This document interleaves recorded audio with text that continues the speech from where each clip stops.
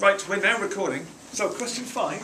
Are you happy, Rachel? Yes. Good. Question five. A vertical hollow cylinder of radius 0.5 metres is rotating about its axis. Ooh. A particle P is in contact with the rough inner surface of the cylinder. The cylinder and P rotate with the same constant angular speed. The coefficient of friction between P and the cylinder is mu. Given that the angular, angular speed of the cylinder is 7 radians per second and P is on the point of moving downwards, find the value of mu. So this thing's spinning and the, this, this particle is on the edge of it and is spinning round with it and it's spinning round and round and round. There's, that's all that's happening. It's just the cylinder rotating with this thing stuck on the edge, not stuck on the edge, but, but on the edge, rotating round inside there. Um, so, well, let's let's imagine what's going on with this. That diagram not terribly helpful. So let's have a, new diagram that simplifies it, gets rid of the stuff we don't need. We've got this uh, thing going on there. It is. That's imagine the path of the uh, particle going round and round. It's stuck to the edge.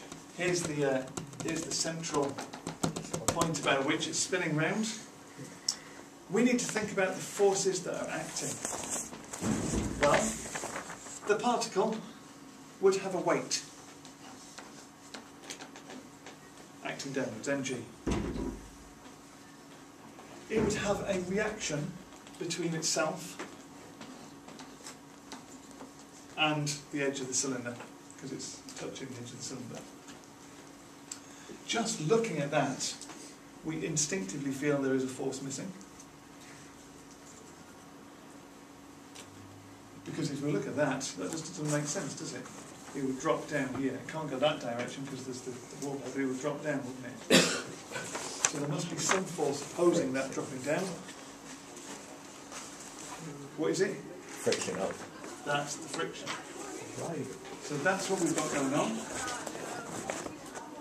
Um, we know that we have circular motion, so we have an acceleration in that direction. The acceleration is r omega squared. And so if we resolve horizontally here, using F equals ma, we've got r is the horizontal force in that direction, is equal to mass. What was the mass? We weren't given the mass.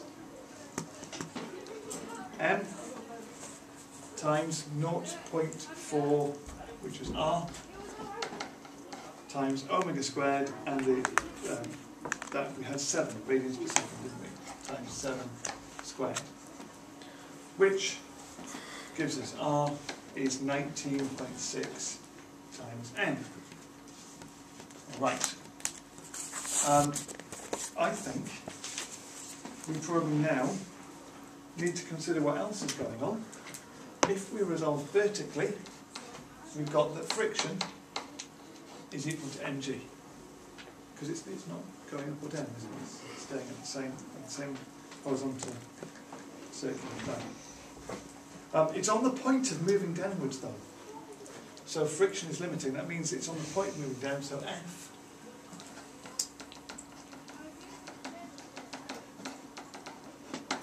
F is mu r, which tells us that mg is 19.6 m times mu.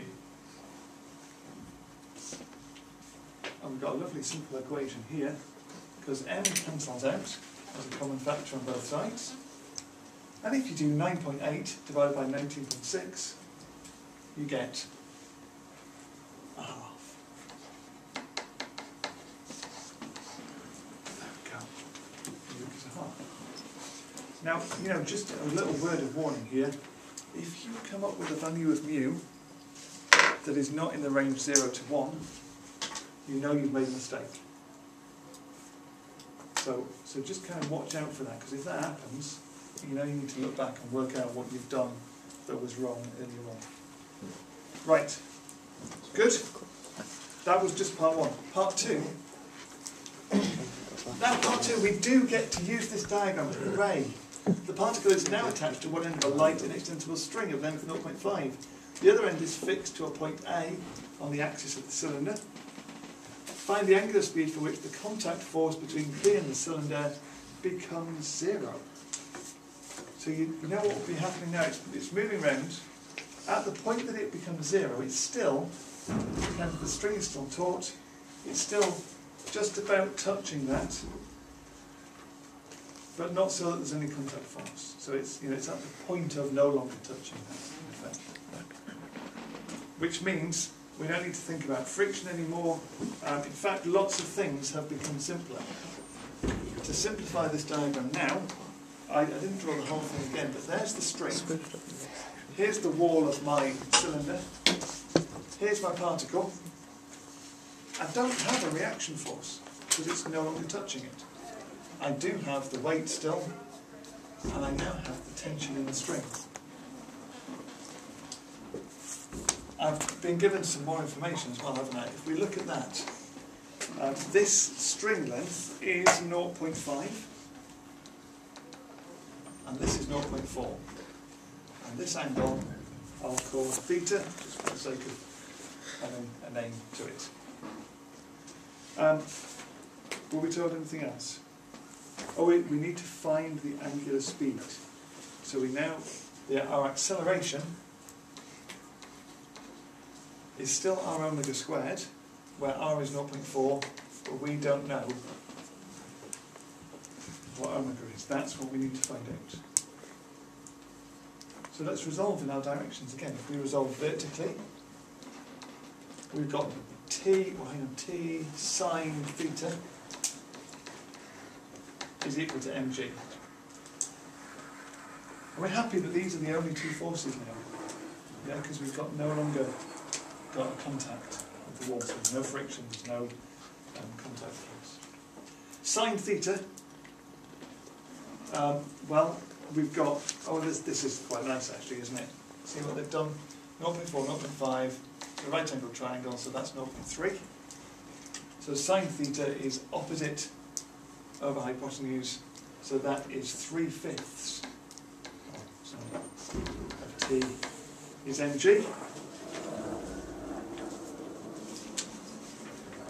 Um, so t is 5 over 3 mg.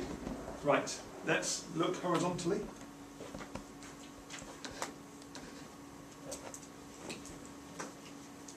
Well, this is even simpler.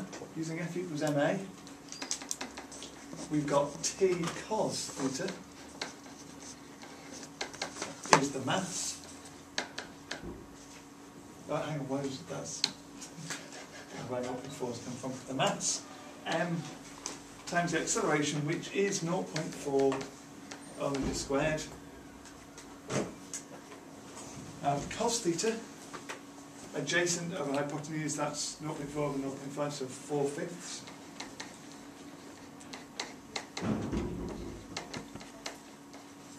So I've got 4 fifths of t is 0.4 m omega squared. I already have t. t is 5 thirds mg.